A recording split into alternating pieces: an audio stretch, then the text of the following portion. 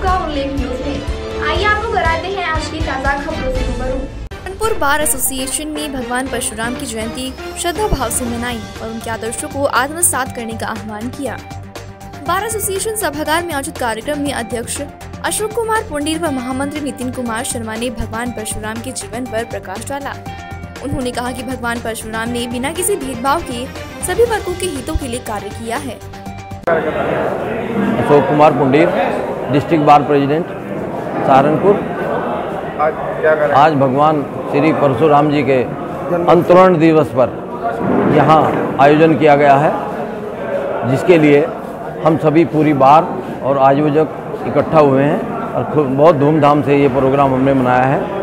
हम सभी आयोजक आयोजक जो हमारे साथ हैं कार्यकारिणी और अपने वरिष्ठ और कनिष्ठ सभी साथियों का हार्दिक अभिनंदन हार्दिक आभार व्यक्त करते हैं।